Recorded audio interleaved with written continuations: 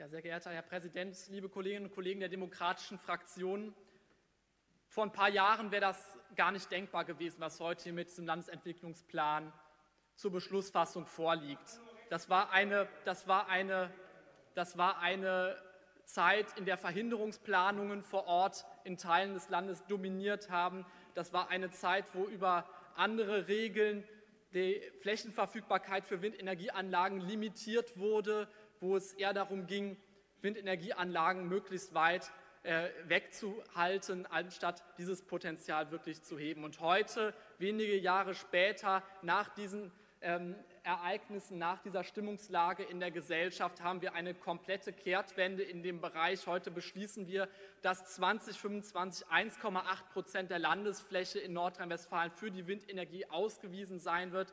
2025, das bedeutet sieben Jahre, sieben Jahre vor der Frist, die der Bund dafür gesetzt hat. Und diese Flächen, diese 1,8 Prozent, die stellen sicher, dass wir den Windausbau ermöglicht bekommen, bis hin zu einem Energiesystem, was auf 100 Prozent erneuerbaren Energien beruht. Dafür ist dieser Landesentwicklungsplan ein ganz zentrales Fundament, was wir hier heute setzen.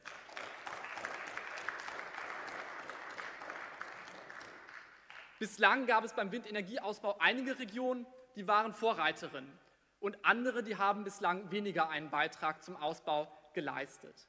Und dieser Landesentwicklungsplan stellt nun sicher, dass alle Regionen unseres Landes, dass alle Landesteile ihren Beitrag leisten zum Windenergieausbau, weil für ein klimaneutrales Energiesystem können wir uns nicht auf wenige Vorreiterinnen und Vorreiter verlassen, sondern alle müssen in die Pflicht genommen werden, alle müssen ihren Beitrag leisten. Aber wir halten auch niemanden davon ab, weiter Vorreiterin zu sein. Diese 1,8 Prozent sind ein Mindestangebot und jede Kommune, jede Stadt, jede Gemeinde, die sagt, wir wollen noch mehr bei uns vor Ort von den Vorteilen der erneuerbaren Energien profitieren, können zusätzliche Flächen ausweisen. Das heißt, wir nehmen alle in die Pflicht, aber wir machen auch keinen Deckel drauf, sondern wer Vorreiter war, wer es weiter sein will, der kann es tun. Und das ist auch das richtige Signal. Wir wollen ermöglichen mit diesem Landesentwicklungsplan.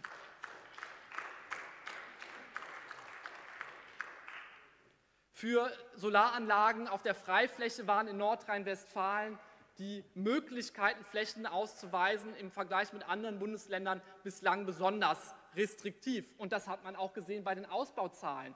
Wir hatten es dort bislang nicht hinbekommen, unsere Ausbauziele in Nordrhein-Westfalen zu erreichen. Auch darauf gibt dieser Landesentwicklungsplan eine Antwort, indem er Kommunen deutlich mehr Freiheiten lässt, Vorhaben, Photovoltaikanlagen auf der Fläche zu realisieren, auch zu ermöglichen. Und da an der Stelle erhoffen wir uns ganz klar, dass das die Grundlage dafür ist, dass wir bei der Freiflächenphotovoltaik die nötige Dynamik bekommen, die wir ja bei den Dachanlagen Nordrhein-Westfalen auch im vergangenen Jahr schon beeindruckend gesehen haben.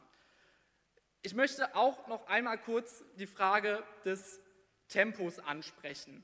Und es ist zu Recht angesprochen worden, dass diese Verfahren mit sehr, sehr viel Arbeit verbunden sind. Und umso beeindruckender finde ich es, wie es die Mitarbeiterinnen und Mitarbeiter in der Landesplanung, die Planerinnen und Planer geschafft haben, unter diesen Voraussetzungen ein so schnelles Verfahren zu organisieren. Und die haben die Ärmel hochgekrempelt, die haben nicht gejammert, sondern das, das sind die, die unter diesen Gegebenheiten dieses Tempo erst ermöglichen, die Planerinnen und Planer beim Ministerium, aber auch die Planerinnen und Planer in den Regionalplanungsbehörden gilt unser Dank. Das sind Leute, die machen die Energiewende in Nordrhein-Westfalen ähm, möglich, die zünden da den Turbo und zu denen, denen sind wir zu großem Dank verpflichtet.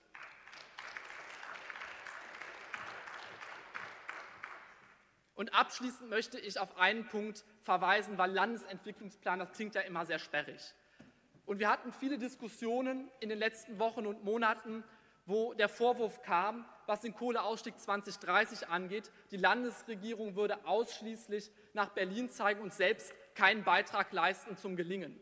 Und ich finde, wir können nicht immer so tun, als ob das eine mit dem anderen nichts zu tun hätte. Natürlich ist dieser Landesentwicklungsplan, diese Frage, ob der Ausbau der erneuerbaren Wind und Solar gelingt in Nordrhein-Westfalen, ein ganz zentraler Baustein, ein ganz zentraler Baustein, um den Kohleausstieg 2030 gelingen zu lassen. Das ist einer von verschiedenen Bausteinen, aber eben ein zentraler. Und hier liefert die Landesregierung. Die Landesregierung liefert, macht das möglich, sichert auf die nächsten Jahrzehnte den nötigen Hochlauf.